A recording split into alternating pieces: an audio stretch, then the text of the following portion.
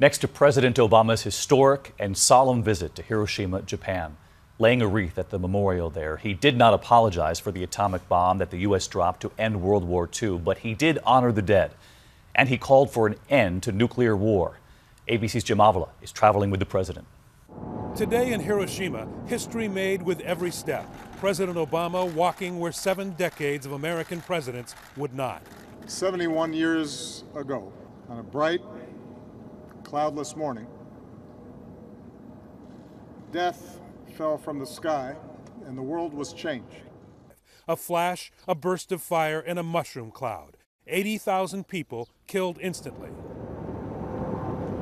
Today, near the only building still standing, the American president refusing to apologize, but listening intently as survivors told their stories. This man dissolving into tears.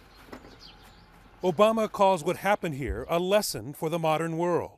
The scientific revolution that led to the splitting of an atom requires a moral revolution as well.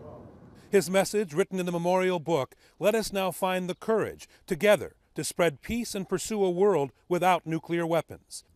President Obama now heading home after his historic visit to Japan and Vietnam, both former enemies, now strategic friends.